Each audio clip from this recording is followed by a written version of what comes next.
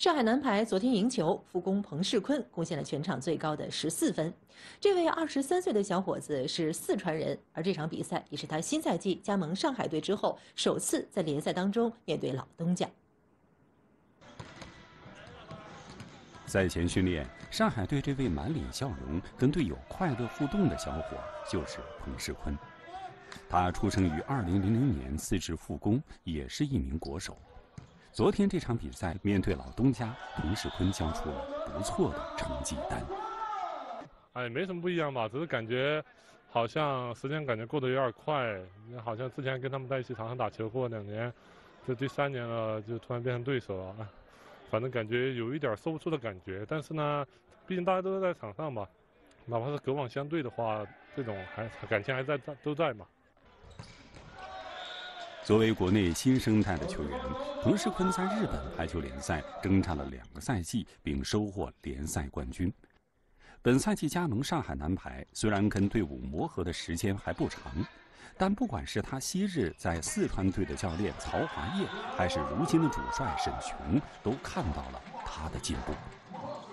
到日本回来，我第一次呃现场看见他打比赛，嗯，我觉得话他最好的就是通过这个日本的联赛，呃，他整个打球的那个气质发生了很大的变化，还有就是包括他的那个思维方式有了一些改变，在拦网包括那个进攻上面啊。比以前更有特色，包括我我的嗯我的第一种感觉，就他的那个高度比以前还要更高了，而且他那个打线路他会变线，呃，这个比以前要做得更好。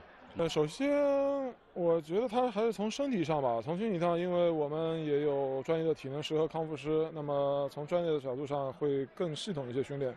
那么我觉得在大坤在身体方面，我觉得要啊。我觉得在最近的时间，呃，提高挺快的。那么希望他保持吧，因为他年轻，我觉得他也是中国未来希望。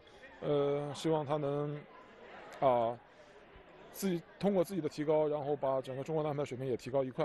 啊，那包括现在在俄罗斯打球的张莹莹，啊，也希望就是他们能够真正的能够撑起中国男排以后的这个啊啊未来吧。参加完巴黎奥运会资格赛之后，彭世坤很快来到上海。本赛季同样加盟上海队的外援库比亚克，跟彭世坤一样，之前在日本联赛效力。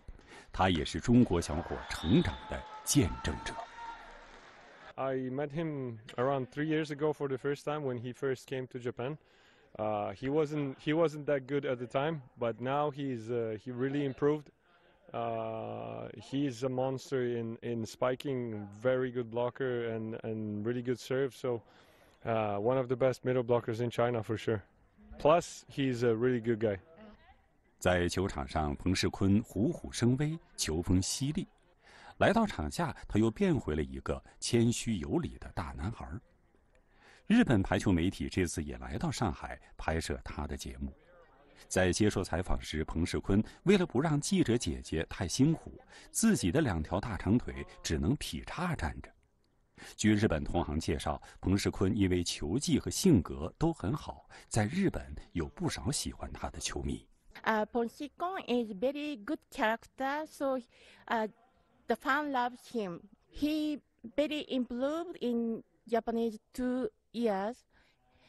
The team miss him very well. Maybe they return to team. 彭世坤在上海队队员中年纪算小的，但大家伙都喜欢叫这个两米一三的大高个大坤。他也希望自己一步一个脚印儿，未来在更大的舞台上绽放光芒。也不知道谁给我取的外号吧，那好像从国家队开始就大坤嘛，可能看我个子比较大，他们就叫大坤嘛。嗯，我希望能够，呃，每个方面都有一些进步吧。这不能说为了打比赛而打比赛，希望我能有提高，包括万一以后为我自己以后嘛，包括一些以后国家队的比赛，包括万一我以后还有机会去其他俱乐部打球，这都是对自己的一种，嗯，这什么，自我提升吧。